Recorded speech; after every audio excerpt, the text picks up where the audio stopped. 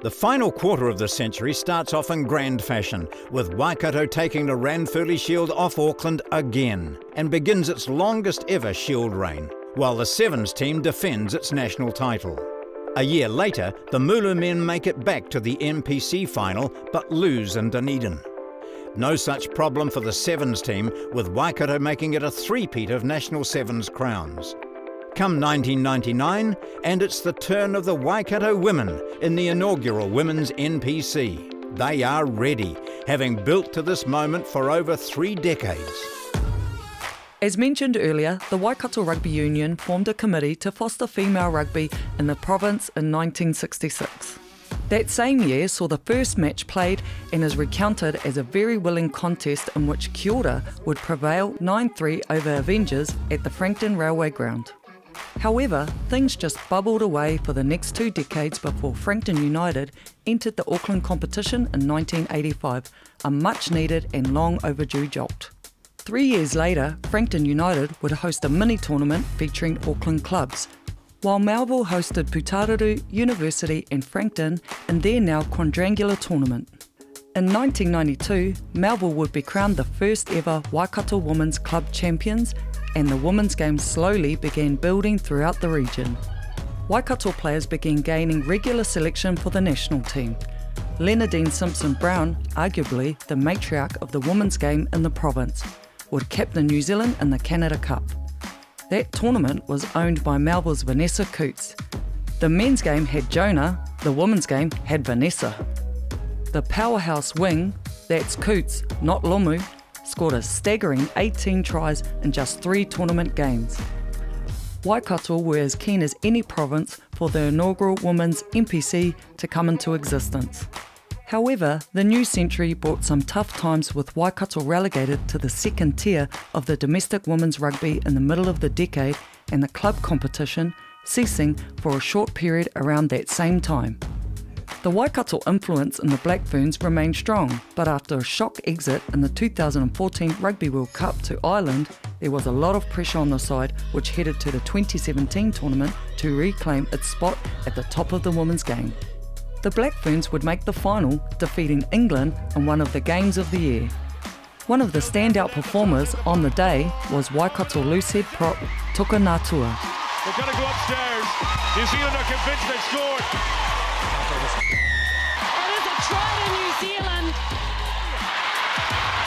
Just short. No, no, no, Didn't back her strength. Then the offload. Natua. A second try for Natua. New Zealand in again. And on they go again. Natua looking for a hat trick. Natua for a hat trick. A hat trick in a World Cup final. Her performances at the tournament, capped off by that hat trick, would see Toka Natua claim the Supreme Award at the 2017 Brian Perry Waikato Regional Sports Awards. And it's not just the 15-a-side game where Waikato Wahine have excelled on the world stage, with Stacey Fluhler a strong contributor to New Zealand's gold medal winning sevens team at the Olympic Games in Tokyo. Waikato had never won a national title but came so desperately close to lifting the Farah Palmer Cup in 2020 this time. Ponsonby is turned in the tackle.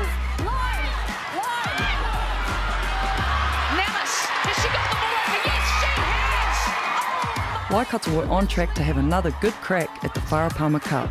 That's before old mate COVID reared its Delta variant head again. But don't worry, when it's time to return to the field, Waikato will be ready because our wahine have always been ready. The new millennium begins with a couple of goodbyes. After a record 21 defences, the Ranfurly Shield departs the province after a near three-season stay, while we bid adieu to Rugby Park in its grand old form, with the construction of Waikato Stadium beginning. Waikato play at Seddon Park in 2001, with the stadium open for business in 2002. The new venue would play host to the NPC final that year, however Auckland would spoil the party by winning the decider. A year later is significant, as it's the last year in which Waikato face international opposition. They beat Italy 23 3 in a game which features the debut of a young 18 year old phenom out of Rotorua Boys High School, Liam Messam. The British and Irish Lions would tour in 2005, and while Waikato didn't get a crack at them, Waikato Stadium hosted one of the moments of the tour.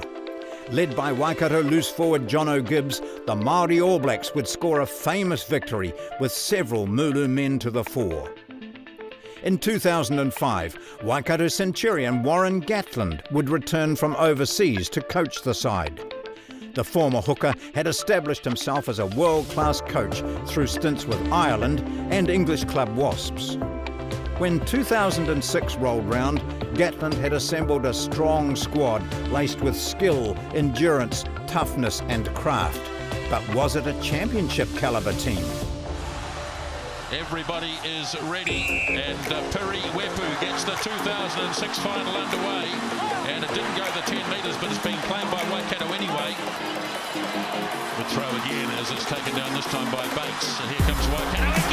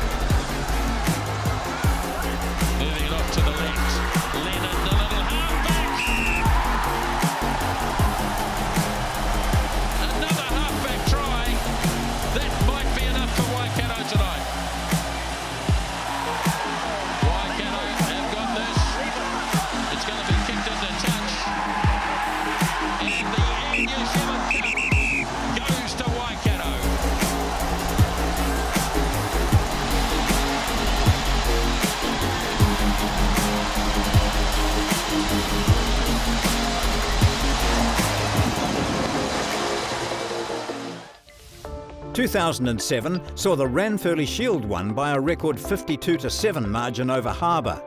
Six days later, the Shield is heading south to Canterbury. The new decade starts with a fourth national men's sevens title, while Waikato would make the NPC final in 2010 and 2011, losing to Canterbury both times. Waikato Stadium would also host three games in the 2011 Rugby World Cup, including the All Blacks pool match against Japan. The 9th and 10th Ranfurly Shield tenures would be in 2012 and 2015, the same year the Sevens claimed a fifth title.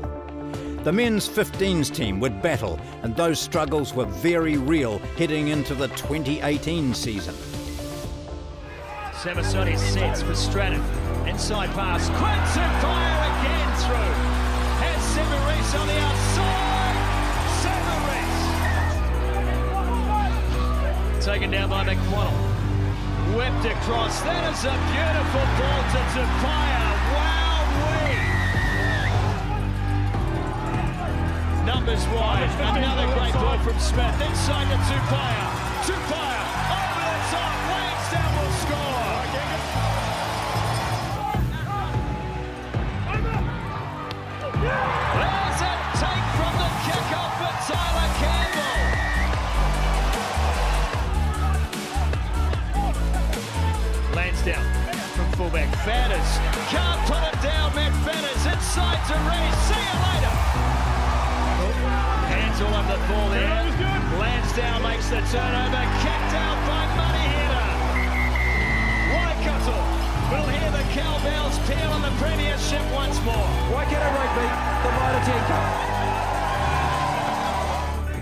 Steal it is Riccitelli. It's cleared by Stratton. They go a little wider. They've got numbers here. Waikato out to Sweeney. Sweeney with the dummy. Sweeney's over. Jacobson is there quickly. The ball needs to be shifted. It comes to the right. Now they need to move it to the left. That's where it goes. Smith, quick hands to Tucker. Reese is there. He gets it up to Lansdowne. One more pass to Pryor. Scores one of the great tries of 2018. It's all Waikato there to play. The Taranaki team are out on their feet. That's the siren. They'll kick it out. Waikato in possession.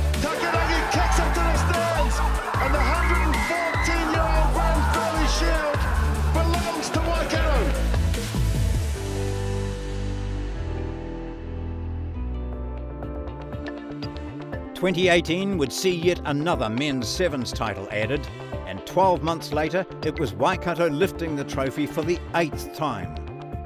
And in 2020, as previously seen, the Waikato women came within a whisker of claiming the Farah Palmer Cup for the first time. However, the post-match comments of captain Chelsea Alley epitomised not only the attitude of that outstanding group of women, but the unwavering attitude of Waikato teams over the last century. There's a lot of belief in our team and um, yeah, we gave it all as you can see. Um, Canterbury are a bloody classy side, um, so yeah, they need to be really proud, but I'm just so proud of my girls for the season we've had. And um, we're not broken yet, we'll be back next year, um, bigger and better than ever. Which leads us to 2021, the centenary year of the Waikato Rugby Union. How did it go?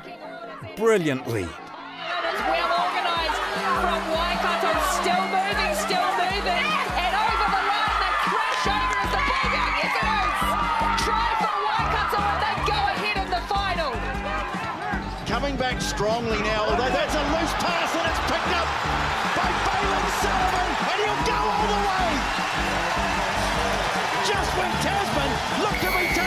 control, Waikato strike back through Bailyn Sullivan.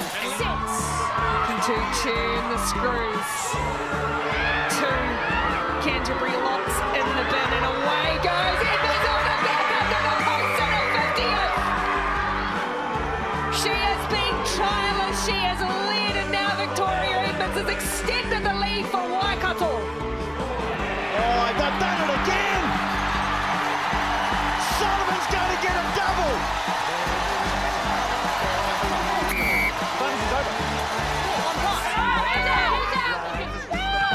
They work down the short side. Hoare, Totara, Kinefan, corner,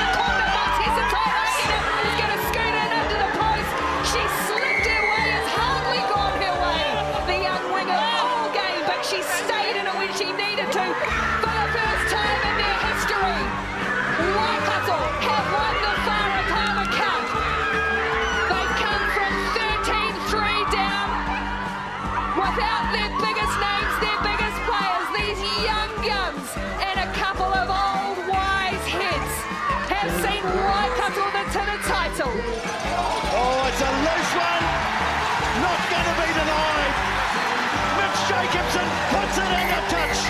And in their 100th year, Waikato are the champions of New Zealand rugby.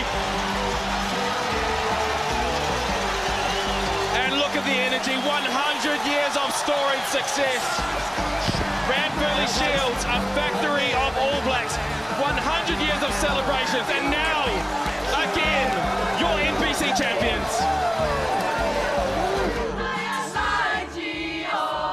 As you can see, the women's game in the region continues to go from strength to strength because whenever an opportunity arises, our rugby wahine have and always will be ready.